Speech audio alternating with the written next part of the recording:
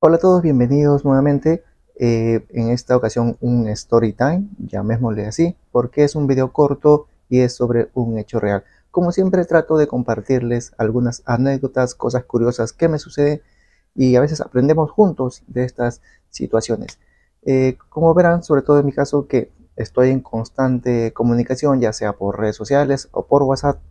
Este es un video que ya tenía, digamos que guardado hace un buen tiempo, porque incluso van a ver más adelante la comparación es sobre un trámite de CPP, CPP y eso ya hace 3, 4 meses que ni siquiera se puede solicitar, pero tenía guardado ahí y ahora se los comparto. Entonces, eh, así tal vez, ¿no? Con toda esta serie de story que he estado publicando, aprendemos juntos tal vez. Así que vamos a ver de en qué consiste esta comparación por WhatsApp. Y como ya sabrán, recibo encargos de trámites, hoy también de asesorías personalizadas con ciertos costos bajos, pero costos al fin y al cabo. Y esto debido también a que Migraciones como institución no, eh, digamos, ofrece tantas facilidades, ¿no? Entonces, eh, bueno, vamos al tema. Está escribiéndome una persona que dice que el trámite es para CPP. Yo le empiezo a dar tanto los requisitos que necesito, los datos que me debe enviar y el costo de 20 soles. Entonces ahí me preguntan, ¿no? Tú me vas a hacer todo el trámite, pero yo ir a recoger el carnet, o sea, no es tanto así. Yo le hablo sinceramente que es solamente registrar el trámite. A lo que él me contesta ya, dice, y me manda un mensaje, como un reenvía, algo así, ¿no?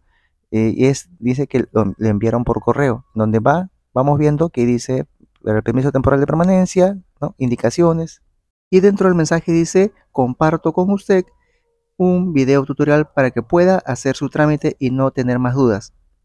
Porque en ese video está bien explicado. Dentro del video tutorial se menciona sobre el pago, pero le hacen la indicación de que no había necesidad o no es obligatorio de realizar un pago para el registro del trámite CPP. O sea, básicamente tratan de responderle a la pregunta que seguramente esta persona le había enviado, ¿no? Pidiendo información de cómo sacar el CPP y se apoyan, ¿no? Ya que ellos parece que tienen una limitada forma de expresarse entonces, no han realizado tampoco eh, de parte de Migraciones un tutorial como tal. Por ahí vi en su página o su canal de YouTube de Migraciones un video de menos de un minuto, creo. Entonces, en un minuto no se puede explicar todo el proceso de registrar correctamente.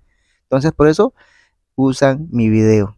Y entonces finalmente le da otras indicaciones sobre las sedes, porque es una persona que está eh, viviendo en Trujillo. Y eh, la persona me comenta, dice que fue a pedir informe de migraciones, le dejaron solamente que envíe el correo y la respuesta por correo fue la que acabamos de leer. Ahora quiero saber tu opinión, ¿qué te parece esto de que Superintendencia Nacional de Migraciones no es capaz de hacer o crear un tutorial completo, bien explicado como dicen que está mi video y solamente más fácil es compartir en el link o enlace de mi video para ellos, digamos, eh, no seguir dando más respuestas.